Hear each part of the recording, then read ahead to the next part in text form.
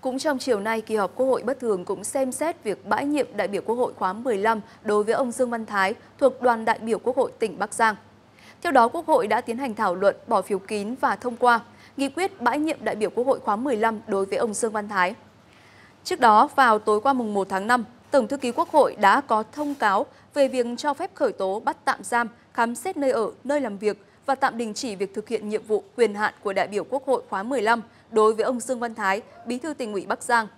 Cụ thể, ngày 26 tháng 4, căn cứ quy định của pháp luật, Ủy ban Thường vụ Quốc hội đã ban hành nghị quyết đồng ý đề nghị của Viện trưởng Viện Kiểm sát Nhân dân tối cao về việc khởi tố, bắt tạm giam, khám xét nơi ở, nơi làm việc đối với ông Dương Văn Thái, đại biểu Quốc hội khóa 15, theo quy định của pháp luật.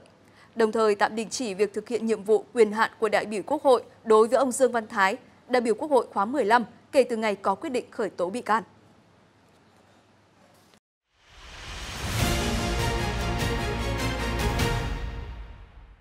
Kính thưa quý vị, ngày 2 tháng 5, Cơ quan Cảnh sát điều tra Công an tỉnh Bà Rịa Vũng Tàu tống đạt các quyết định khởi tố bị can, cấm đi khỏi nơi cư trú, khám xét nơi ở và nơi làm việc đối với ông Phạm Minh An, Giám đốc Sở Y tế tỉnh Bà Rịa Vũng Tàu.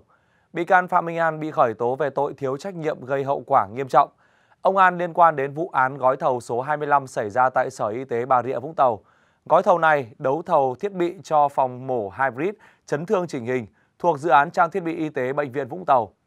Trước đó liên quan đến vụ án trên, ngày 19 tháng 4, cơ quan cảnh sát điều tra cũng đã bắt tạm giam một số cán bộ khác của Sở Y tế và doanh nghiệp dược phẩm Vimedimax.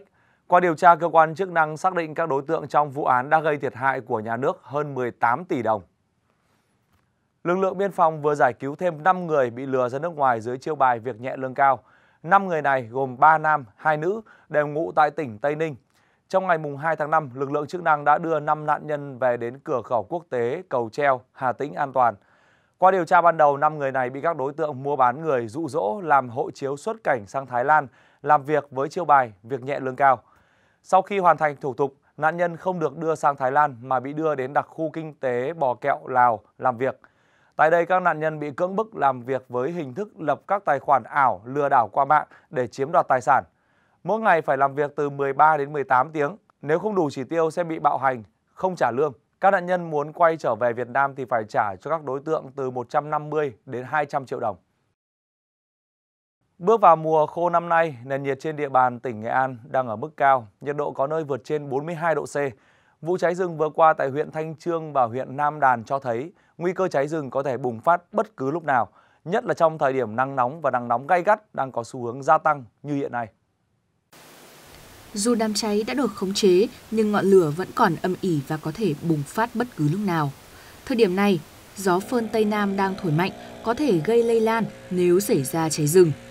Sau các vụ cháy ở khu vực Rú Đụn, xã Nam Thái, huyện Nam Đàn, các lực lượng chức năng vẫn đang tiếp tục kiểm tra, dập tắt các ngọn lửa còn lại. Sáng ngày hôm nay thì cũng đã có 2 đến 3 đám bùng lại.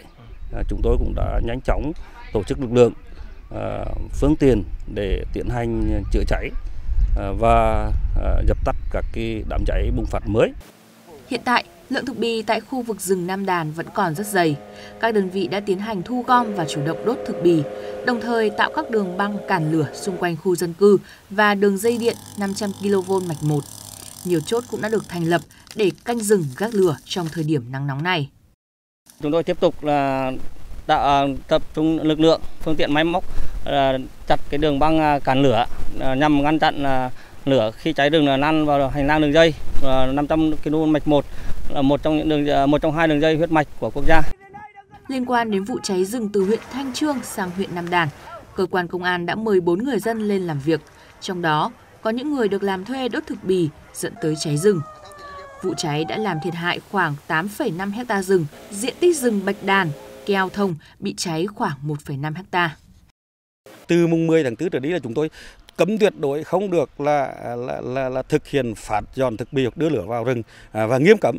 À, thứ hai nữa là trên cơ sở đó thì chúng tôi tăng cường thêm lực lượng trực 24 trên 24 các cái lực lượng chủ chốt như là cái lực lượng quản lý bảo vệ rừng, chủ rừng, rồi công an quân đội phối hợp à, để lực lượng à, trực chiến à, trong cái mùa nắng nóng này. Nghệ An là địa phương có diện tích rừng lớn nhất cả nước. Tỷ lệ che phủ rừng năm 2023 đạt trên 58% với nhiều loại rừng khác nhau. Trong đó có diện tích rừng thông nhựa, rừng keo tràm, rừng che nứa chiếm tỷ trọng lớn, thảm thực bì nên rất dễ bén lửa nên nguy cơ cháy rừng luôn ở mức cao.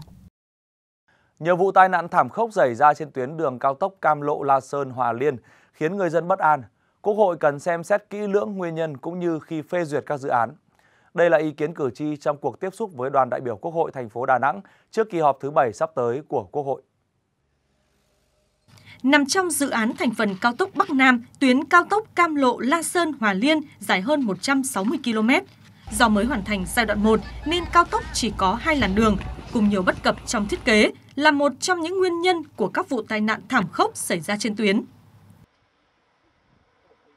Bất cập trong cái tổ chức giao thông và hạ tầng giao thông thì cụ thể là đường thì cho à, khai thác là 80 uh, à, tối đa là 80 km nhưng à, không có những cái hệ thống à, đi kèm như là đèn chiếu sáng, à, camera giám sát, à, rồi à, hệ thống biển báo hiệu đường bộ cũng không được đầy đủ vào những cái đường cam cua. Tiếp xúc với đoàn đại biểu Quốc hội thành phố Đà Nẵng, nhiều cử tri băn khoăn về bất cập trên cao tốc, như thiếu lực lượng tuần tra thường xuyên dọc tuyến, không có giải phân cách cứng, không có điểm dừng đỗ sửa chữa xe, hệ thống biển báo bất hợp lý.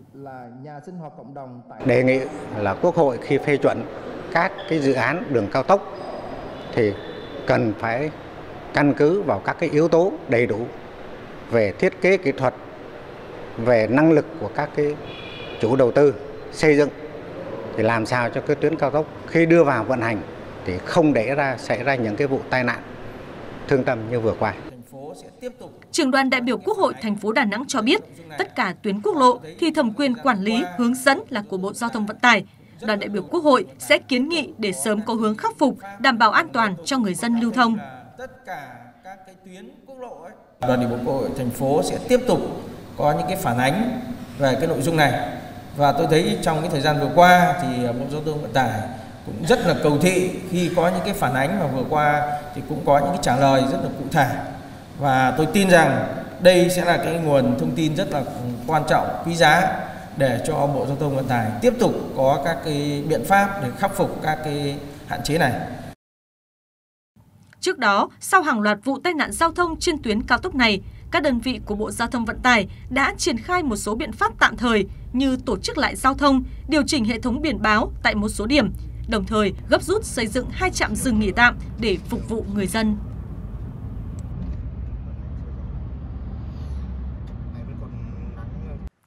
Những thông tin vừa rồi đã kết thúc chuyên mục Đường dây nóng ngày hôm nay của chúng tôi. Số điện thoại tiếp nhận thông tin nóng 083 722 5566. Địa chỉ email đường dây nóng a.vtc.gov.vn. Còn bây giờ xin kính chào tạm biệt và hẹn gặp lại quý vị trong chương trình lần sau.